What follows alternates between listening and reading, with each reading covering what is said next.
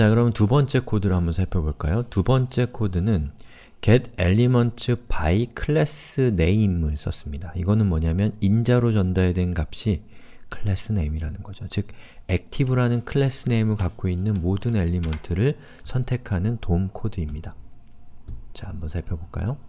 자, 여기 있는 요 li element들 중에서 어, class name이 active 있는 것은 첫 번째, 그리고 세 번째 이것이 class name이 active인 것들이죠.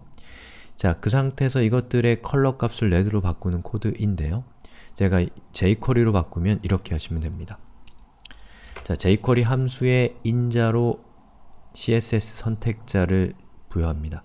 자, CSS 선택자에서 점이 붙어 있는 것은 클래스명이 active인 element들을 가리키는 거죠. 그러면 여기 있는 이 코드상에서는 얘와 얘가 클래스명이 active인 코드입니다.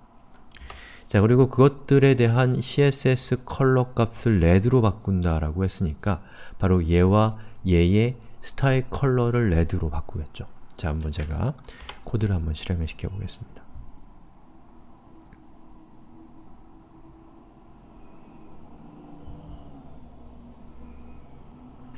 자, 실행을 시키면 보시는 것처럼 여기 있는 이 첫 번째 element와 두, 세 번째 element가 붉은색으로 되었는데 그 이유는 첫 번째와 세 번째가 active라는 class name을 갖고 있기 때문이죠.